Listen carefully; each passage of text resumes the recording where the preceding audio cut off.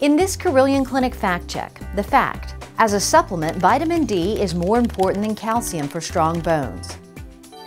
That's true, according to Carilion Clinic family medicine physician Dr. Clifford Nottingham. What we've come to learn is that uh, to keep our bones strong, that vitamin D is, is much more important than calcium. When we go outside, our bodies don't make vitamin D the way they used to because we use so much sunscreen. We're not outside nearly as much as we used to. So vitamin D supplements are important. That plus exercise helps to keep our bones nice and strong. Dr. Nottingham tells me that the daily recommended amount of vitamin D is currently being evaluated. And too much calcium can put people at higher risk for kidney stones. And for some, it could have an effect on blood vessels that could lead to problems with blood clotting. Some people may not need a calcium supplement at all. It's best to talk to your healthcare provider for guidance.